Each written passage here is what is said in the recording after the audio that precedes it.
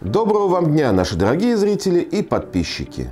Многие задаются вопросом, насколько нужен навес над крыльцом и калиткой, и, собственно, из чего стоит его сделать. Самым оптимальным навесом цена-качество является навес из поликарбоната. Плюсы этого материала очевидны.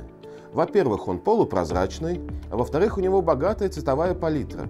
Можно выбрать различные варианты на ваш вкус. Поликарбонат бывает как монолитным, похожим на стекло, так и сотовым, который достаточно прочен, демократичен по цене и достаточно прост в монтаже. Средний срок службы поликарбоната составляет 15 лет, но при этом заменить лист пластика на новый достаточно легко и недорого. Я уже рассказывал о поликарбонате и его характеристиках, теперь немного повторюсь о преимуществах. Это ударопрочность, огнестойкость, устойчивость к перепадам температур, легкость в монтаже благодаря своей гибкости, что позволяет возводить при помощи него навесы арочные и даже сферические. Поликарбонат не тускнеет со временем от солнца, имеет богатый выбор цветов по таблице RAL. Также существуют тонированные варианты. Из недостатков стоит учесть, что поликарбонат расширяется из-за температурных колебаний, поэтому при монтаже нельзя перетягивать болты. Также он достаточно легко царапается. Впрочем, это портит только его визуальную составляющую. В следующем обзоре я расскажу о вариантах навесов из поликарбоната.